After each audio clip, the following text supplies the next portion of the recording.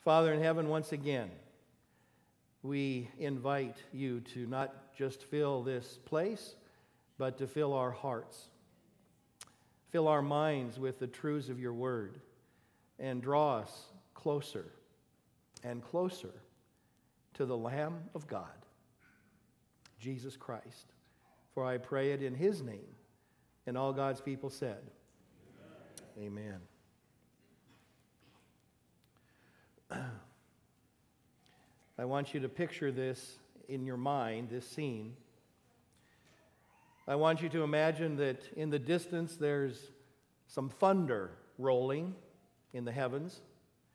That thunder is punctuated with the rhythmic chanting of the priests as they slowly make their way up a long incline to the Temple Mount.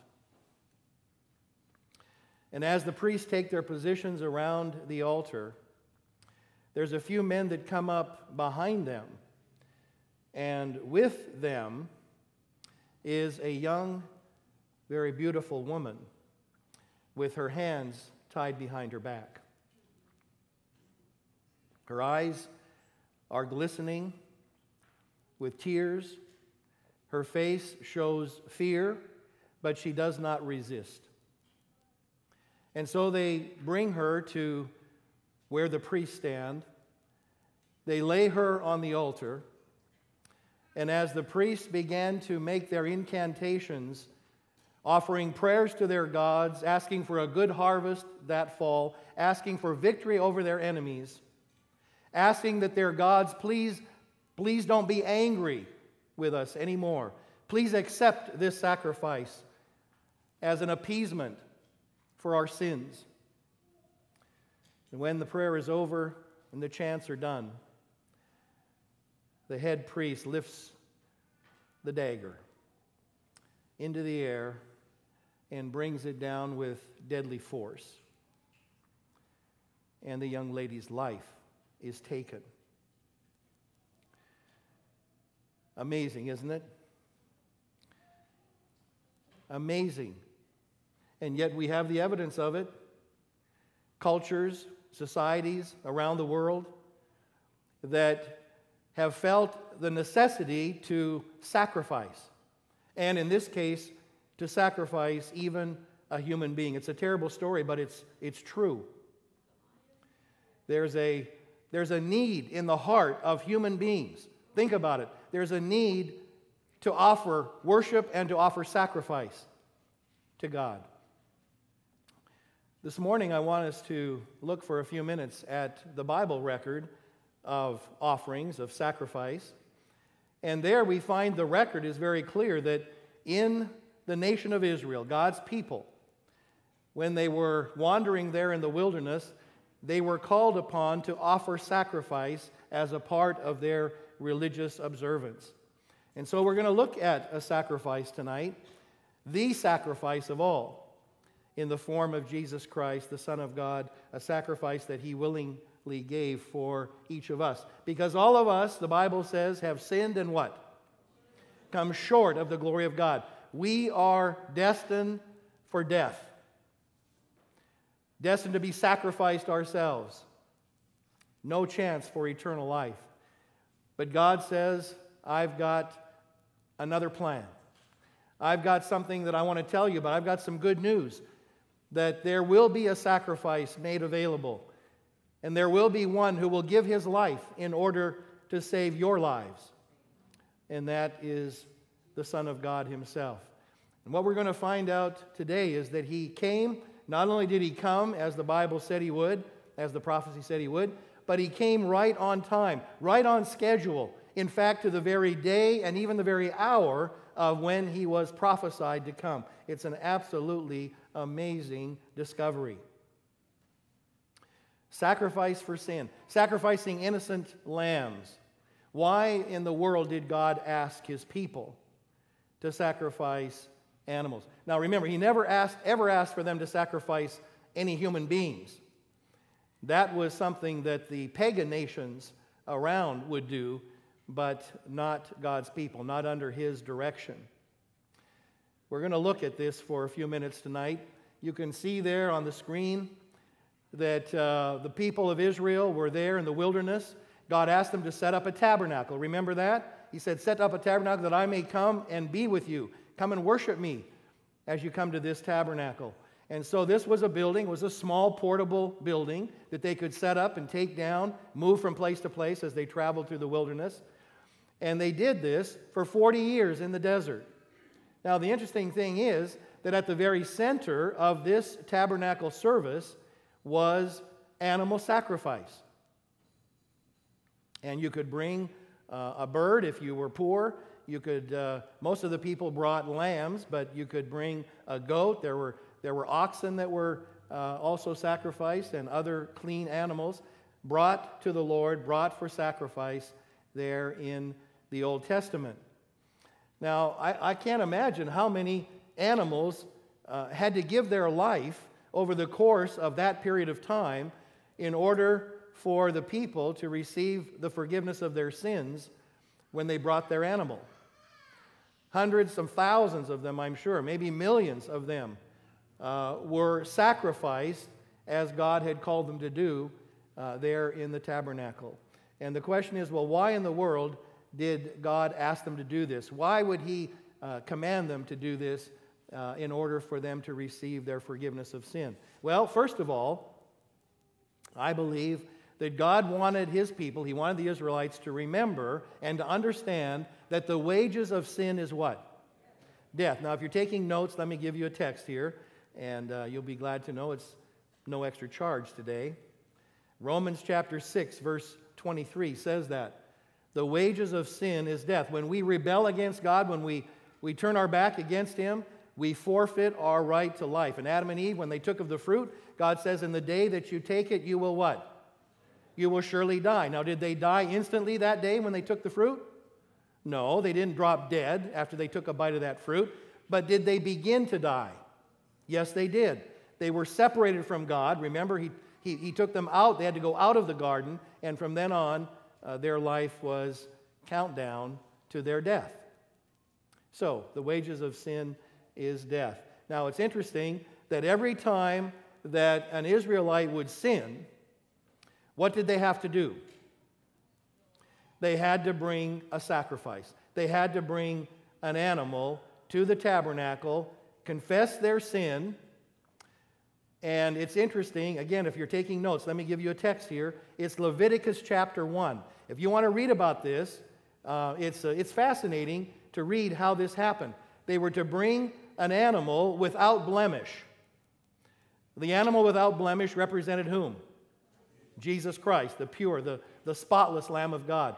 An animal without blemish and the Bible says in Leviticus 1 they were to offer this animal, it says, and I'm quoting now, of their own free will.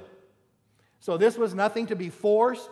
This was nothing that God said they, they had to do. They, they, he wanted them to do it because they understood this plan of salvation and they did it of their own free will.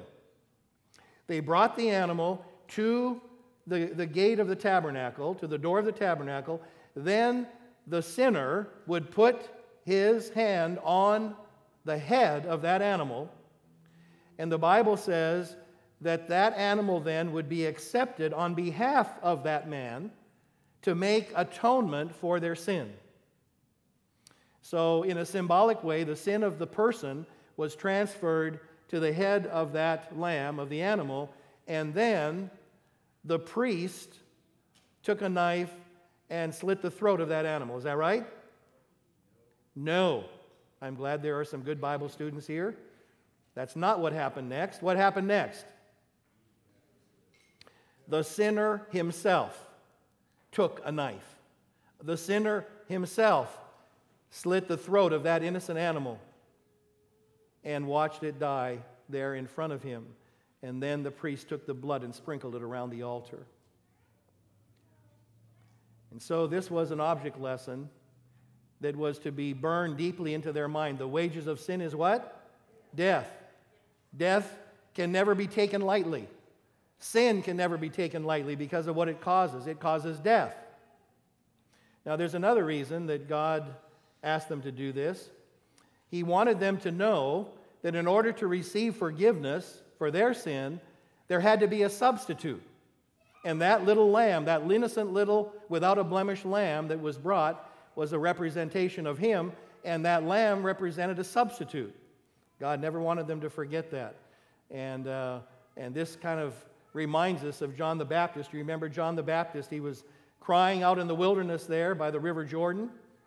And uh, it must have been a tough life for this guy. He, uh, he was out there, but he loved God and he was there to give a message, and he did it with all of his heart, preparing the way for the first coming of Jesus Christ.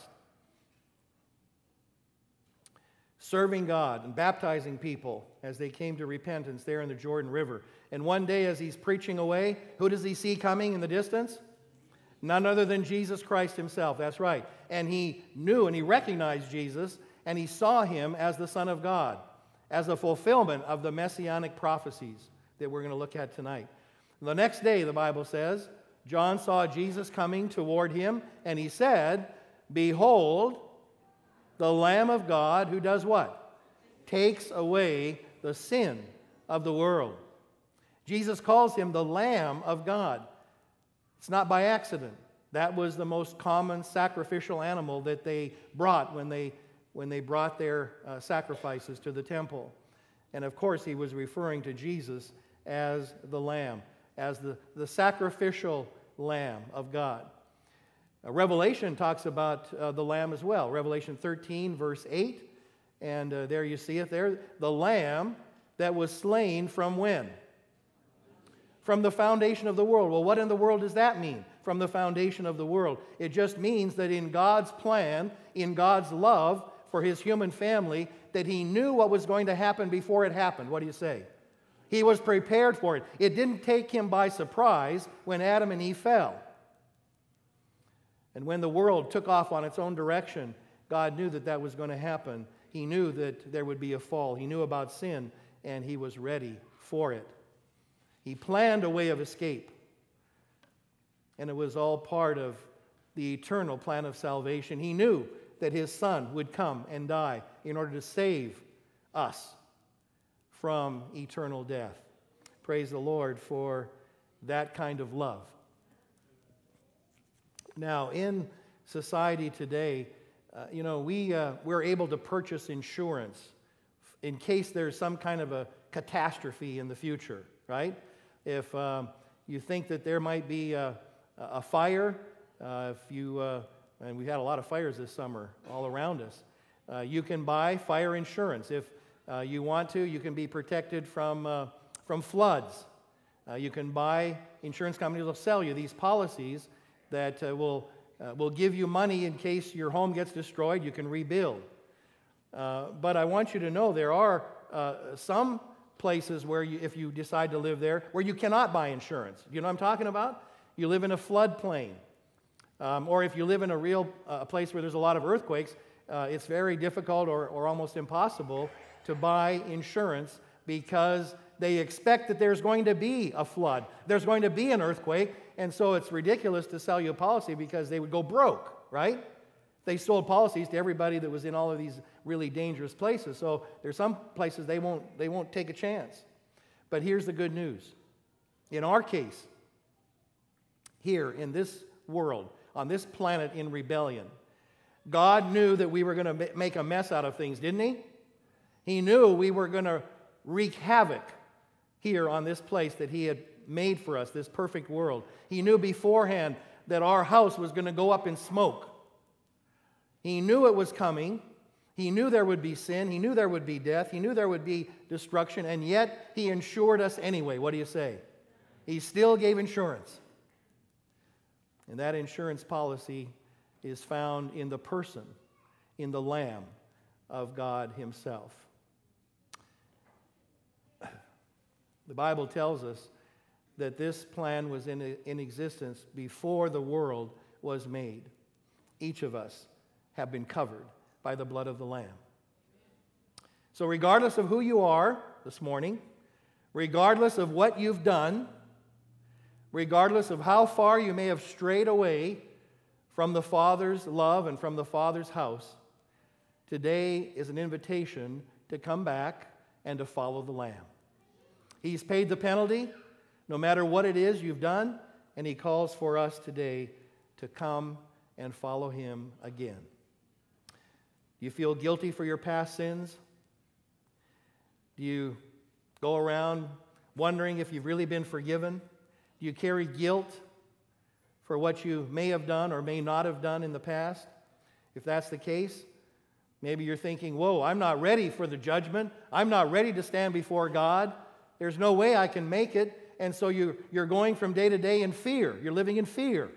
And I'm here to tell you that perfect love, and that's the love of the Lamb of God, perfect love casts out what? Casts out fear. There's no need for us to be afraid, no matter what our past may look like. And Jesus Christ, who's paid the penalty, says, Now come. My arms are open, the invitation is sure, and you can have a future that has hope in it because of me, because what I have done for you. The assurance is there. I read a story of a little boy that came home from school every day, and the problem with this little fellow was that he would always get distracted on the way home. He would always find some friends to play with or uh, get involved in his own uh, games, and he would always come home late. And his parents warned him repeatedly that if you keep coming home, there's going to be consequences. Well, finally, they got so fed up, they said, if you come home late again, instead of having a nice dinner like we usually have when you come home, uh, you're, you're going to have a piece of bread and a glass of water. That's going to be your supper. That's it. Well, maybe he didn't believe them, whatever, but he was late again. So he gets home, and what does he see in front of him? Just what they said their plates are all piled high with good food, nice hot food. And his little plate there, all he had was an old piece of bread and a glass of water. And he stared down at that, and it finally dawned on him that his parents were serious about what they had said. And the poor little guy, hungry as he was, he, he just started to cry. Little, little fellow, tears coming down his cheeks. And just as he was reaching for that little piece of bread, his father reached over, took the plate with the bread on it, took it in front and put it in front of himself. In place, gave his son a plate full of food for him to eat. The penalty had to be paid, didn't it? But in this case, it was paid by a loving father. I'm thankful we have a father like that, aren't you?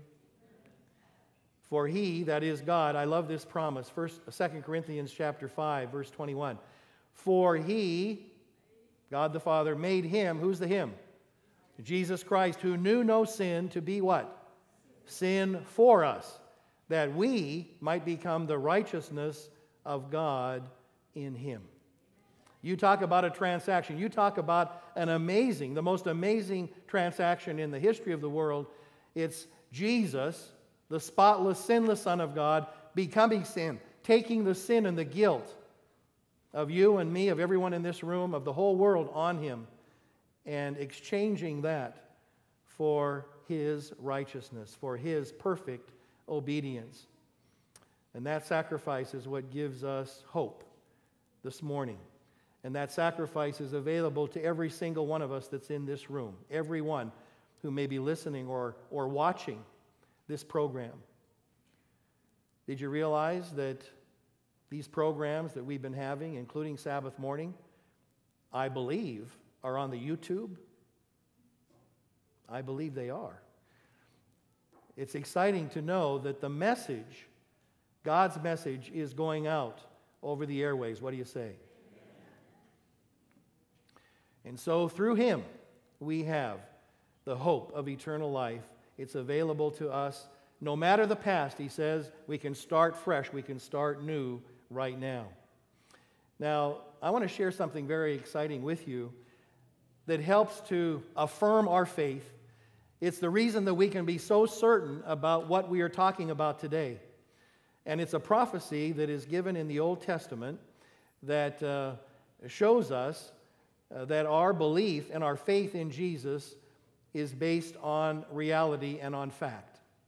Now, I said to uh, our class this morning, a few minutes earlier, that I'm very thankful that we have the whole Bible and that we have the Old Testament and the New Testament together.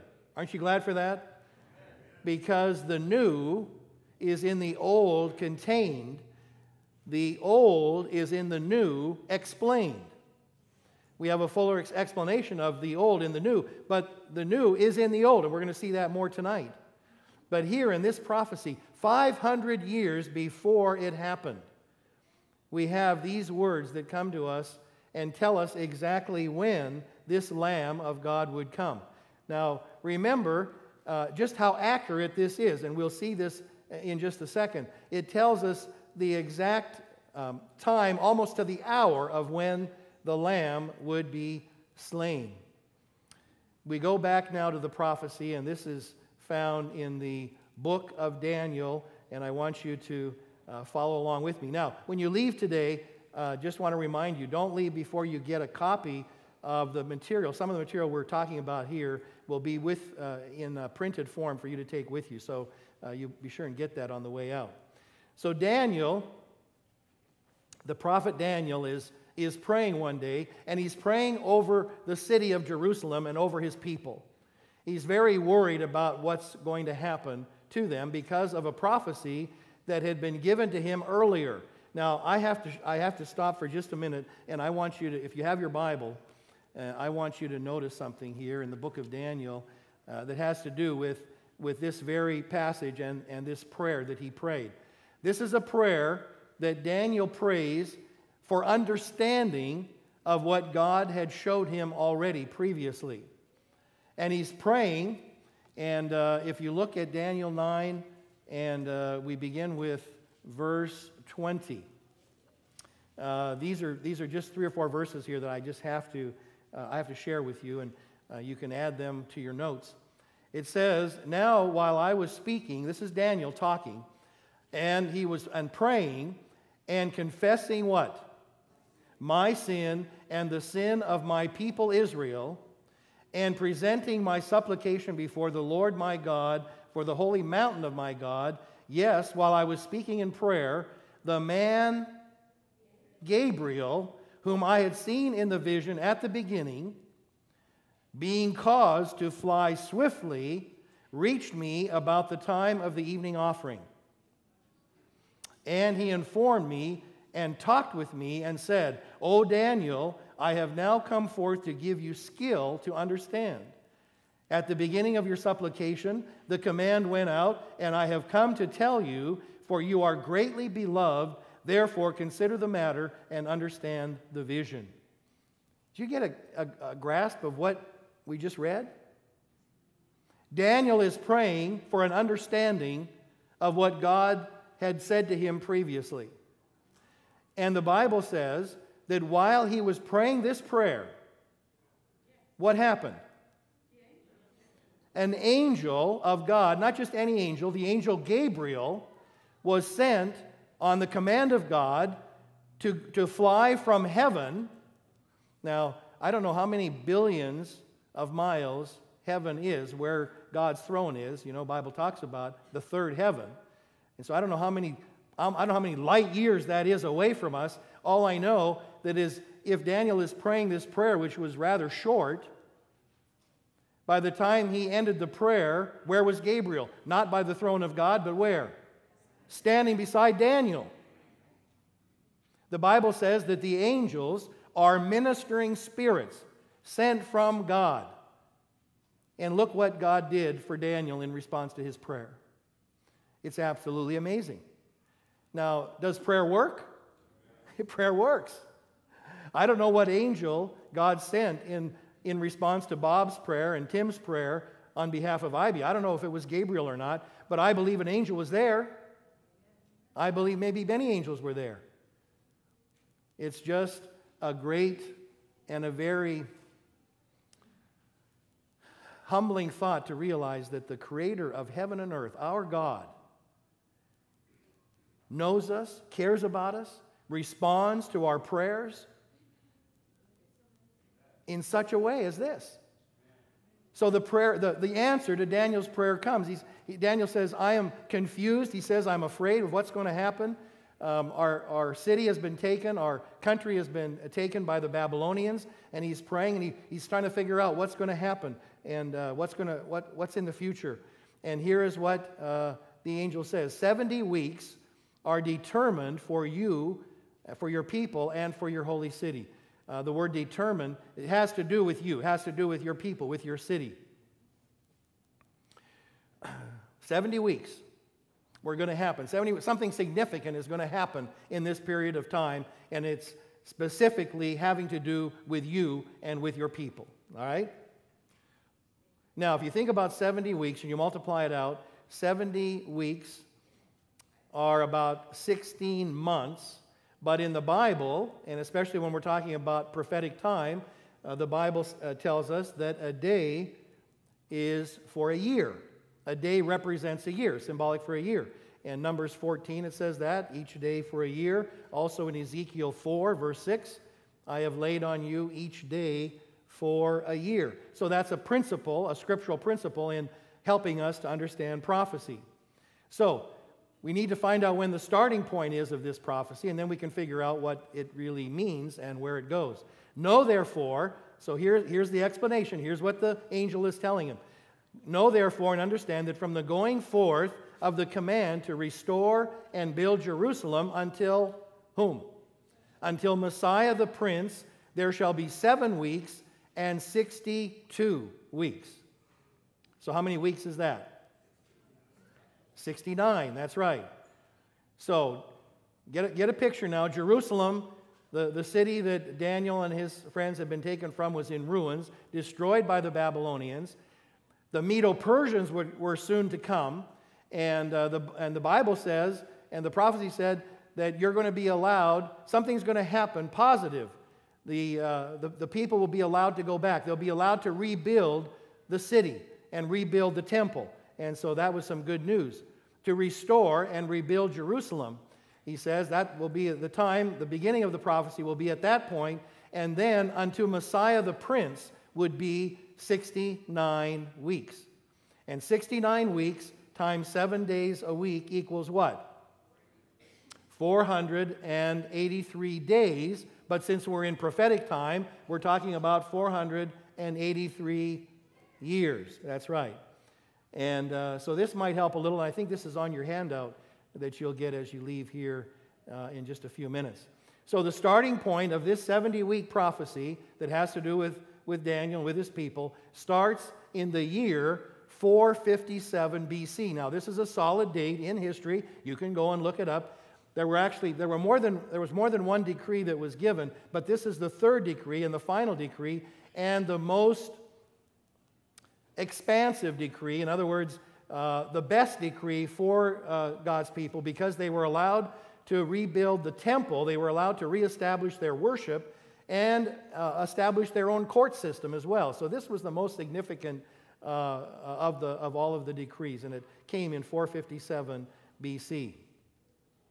So it says, these 69 weeks of the 70 come before Messiah. The Messiah Prince comes at the end of that time, at, the, at that last, uh, during that last week. So we'll see that in a minute. Now, who is Messiah the Prince? Any question about that? I don't think so. Messiah, this is interesting. You may want to jot a note or two down. The word Messiah itself means anointed one. The anointed one. Now, who was the anointed one?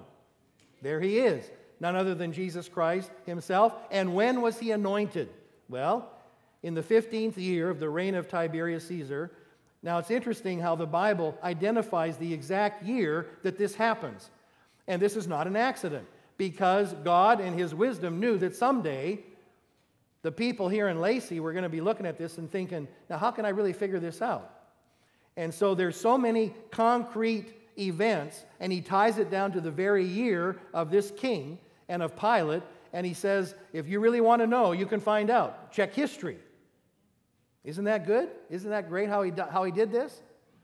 In the 15th year of the reign of Tiberius Caesar, Pontius Pilate being governor of Judea, when all of the people were baptized, it came to pass that Jesus also was baptized, And while he prayed, the heaven was opened. Bible goes on, and the Holy Spirit descended in bodily form like a what? Like a dove upon him, and a voice came from heaven which said, You are my beloved Son, in you I am well pleased. So, do you, you get a picture of what's happening here? This is, this is just a, a, an incredible scene. Jesus comes up out of the water. He's about 30 years old. At his baptism, the Bible says, the voice of his heavenly Father says, This is my Son, in whom I am well pleased. And then the Holy Spirit is there as well in the form of a dove. So we have all the members of the Trinity all there together at one time in one place. Jesus baptized, Holy Spirit descends, and the Father anoints him for his work, for his public ministry. This was when Jesus started his ministry. And you say to yourself, well, why in the world? And I thought about this, I thought about this in the past. Why did Jesus wait until he was 30 years old? That's pretty old to start a ministry, right? So he was at home working in the carpenter shop until he was 30 years old. Sometimes we think, you know, if, if, if guys are still at home at 30 years old, what do we think? You know? Come on, what's going on with that? You know? Come on, get out there, get a life, you know? Get a, get a real job. Don't be hanging around the house, you know? Jesus was hanging around the house, but he was hanging around the house for a reason. It wasn't because he was afraid of starting his earthly ministry. What was the reason that he didn't start his earthly ministry till he was 30? Why? Because the time wasn't right yet. That's right. Because the prophecy, in order for it to be fulfilled exactly as the, as the prophet said it would, it had to happen this way in this year, and Jesus had to be the age he was at this year. Unbelievable. Now remember, this was all written 500 years or more before his birth. Unto Messiah the Prince. And that was going to be in AD 27, just as the Bible predicted it would be. What, a, what an awesome prophecy. I'll tell you, the Bible is just no ordinary book. What do you say? No ordinary book. It helps us to know there is a God. There is a God who's in control. There's a God who knows what's happening and knows what's coming, and He's, and he's let us in on it. That's, that's the good news. All right, so so far, we're, uh, we're looking here at a time, at a, at a prophecy that has covered 483 years. It begins, it, it brings us to the beginning of Christ's ministry. And then it says that after the 69th week, after that 483 years, Messiah would be what? Cut off, but not for himself. Now, what does that mean? Well, it's pretty clear that after this time, after this uh, final year of the 483 years, that the Messiah would, would be killed, but he wouldn't be killed, you know, just as a regular execution he would be sacrificed not for himself, but for you and for me. Romans 5 8 says, But God demonstrates his own love toward us, that while we were still sinners, what? Christ died for us. Now, the prophecy tells us even more. Remember, we covered 69 of the 70 weeks, right? So there's still one more week to go. Now, I want you to notice this very carefully. This is important because there are some very well meaning Christians,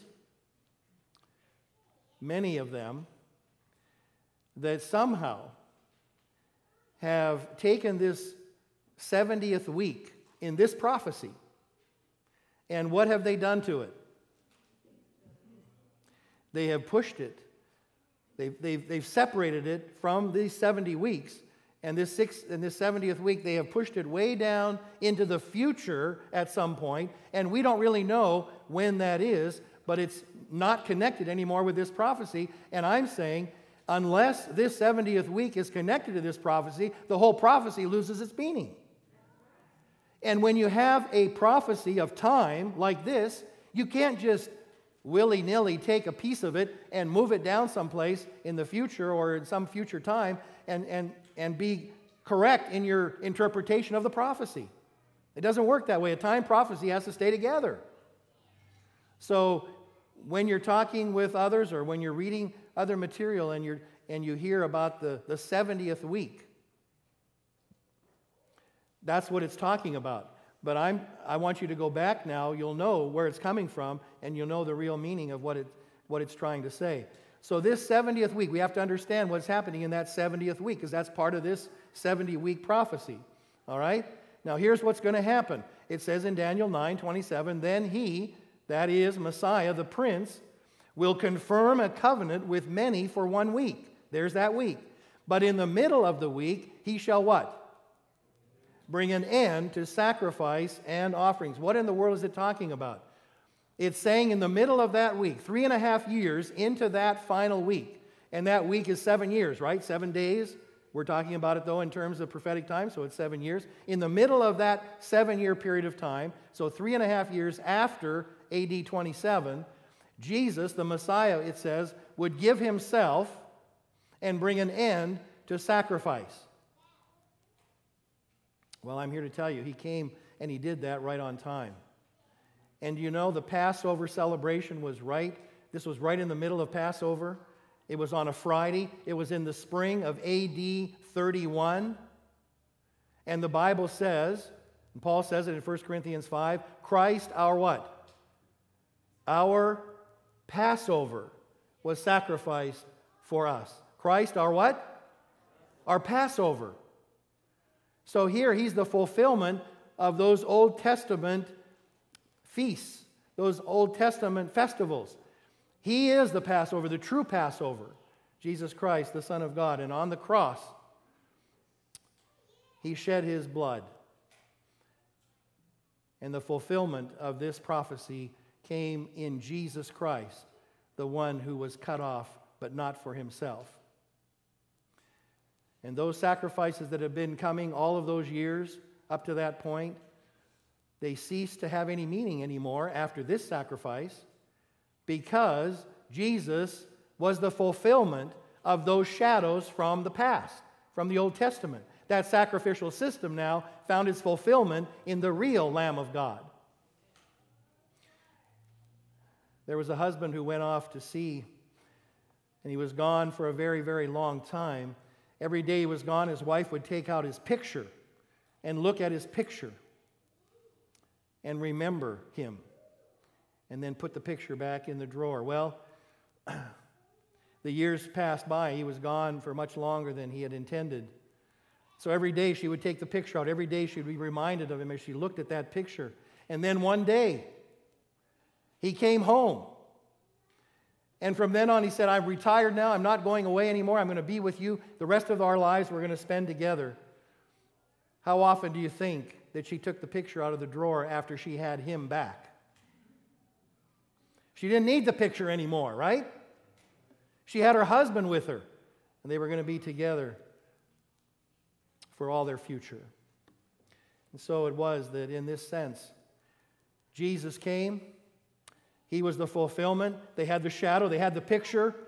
Every day when they brought the animals, the sacrifices, they had that picture. But when the reality came, the picture wasn't necessary anymore. The shadow was no longer necessary.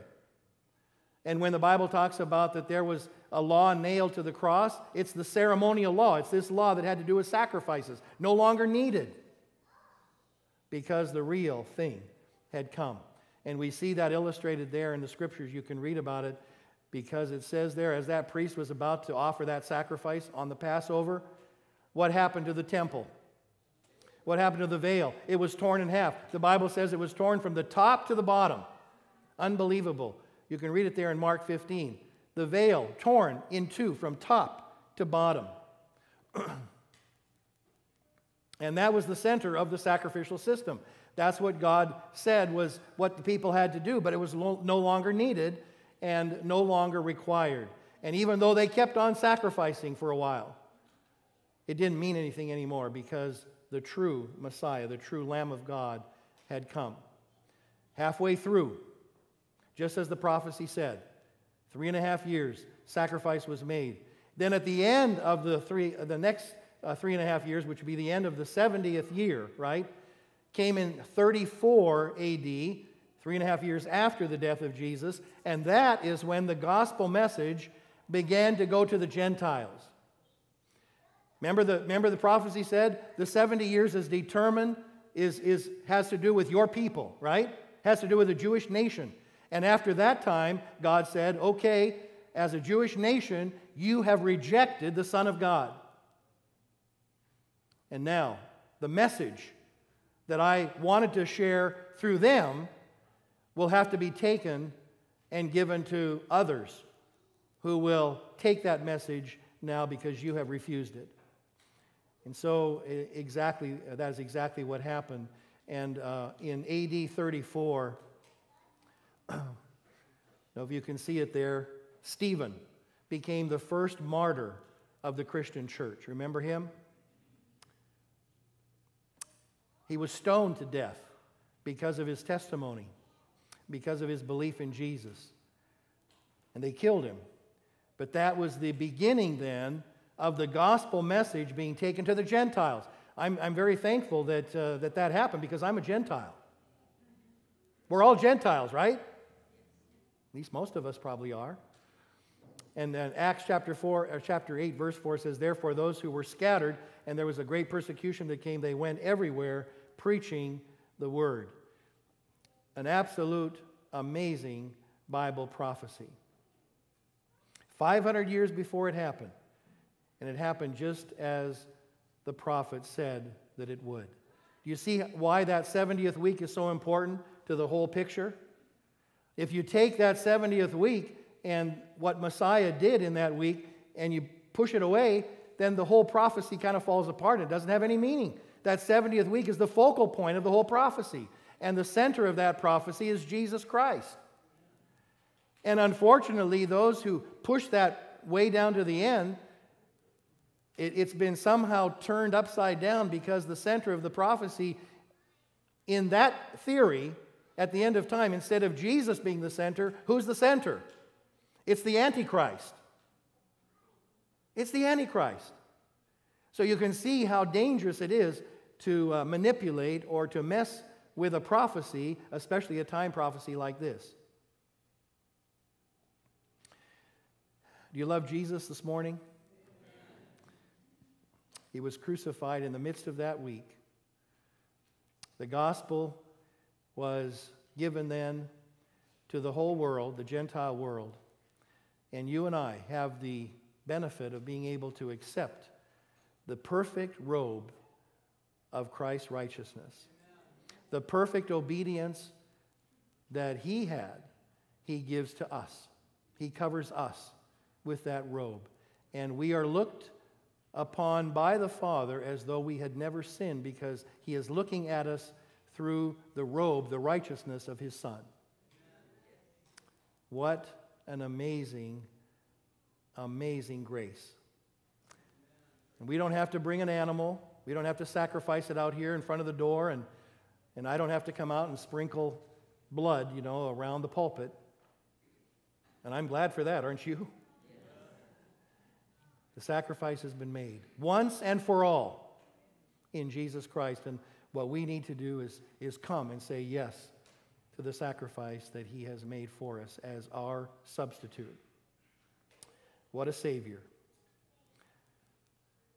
And I want you to, to think of this personally. I, don't think about anybody else here today or, or anybody else that may not be here. Think about this for yourself, and I'm going to think about it for myself. That He did this for me, right? He did this for me. What am I going to do with this amazing grace?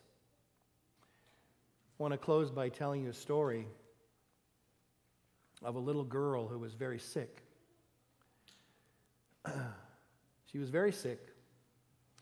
Doctors did all that they could for her, but it came down to where she needed a blood transfusion very badly. Now, her younger brother had had the same disease that she had, but he had recovered. He'd gotten better, and so his blood was stronger and had the antibodies needed to fight this disease.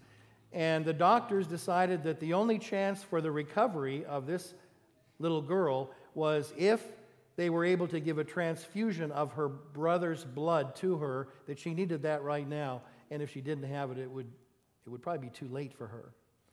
So the doctors and the parents sat down with the little fellow, and they told him that his sister was dying and that only he and, and his blood would be able to save his sister. The doctor very gently said to him, Would you be willing to give your blood to your sister, to Mary? Little fellow hesitated for just a minute, kind of bit his lower lip, and he began to, to tremble just a little bit, shake a little bit, and finally he said, Okay, I'll do it for her. I'll do it for my sister. You bet I will. So they brought him into the hospital room. His sister was in the next bed, barely able to move. They laid him down. He was still shaking, obviously, afraid. The nurse put the, the needle into his arm. His blood began to flow into his sister's arm, into her veins. And then the little fellow, as he lay there pale, still looked very concerned. And the doctor came over to him and he said, Well, it's all over now. You were great. Thank you for your willingness to give your blood to your sister. And the little fellow didn't seem very happy. The doctor says, Well, what's, what's wrong? What's the matter? Little fellow looked up with all the innocence of a child and he said, Doc, when am I going to die? Doctor said, What?